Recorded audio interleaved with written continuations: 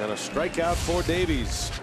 Well, did you catch this? Jonathan Lucroy took out a full page ad in the Journal Sentinel over the weekend, thanking Wisconsin fans, Brewers fans, and a class guy is thriving with the Texas Rangers right now. He's already hit three home runs for them, and you appreciate that sentiment from Lucroy. Those aren't cheap either, by the way. Right. Somebody's got to pay Hodge Court's tab. You would expect nothing else from Jonathan Lucroy. I mean, uh, he, he, was everything you would expect out of a star baseball player in town. And as much as the uh, city of Milwaukee and the state of Wisconsin enjoyed watching him, he loved being here in Milwaukee.